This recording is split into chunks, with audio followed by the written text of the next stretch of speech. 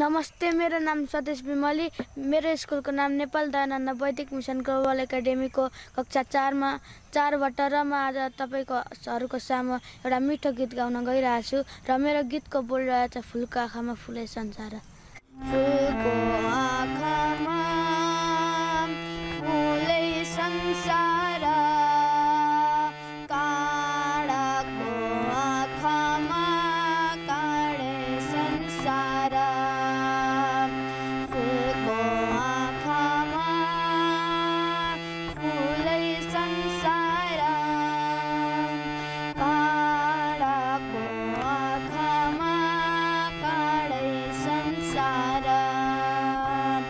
Look